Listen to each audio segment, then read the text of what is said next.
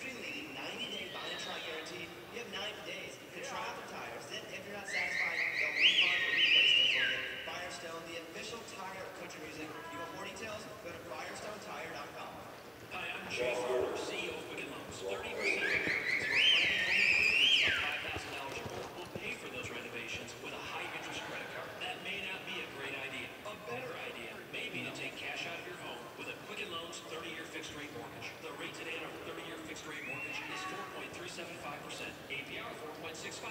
Calls today at 800.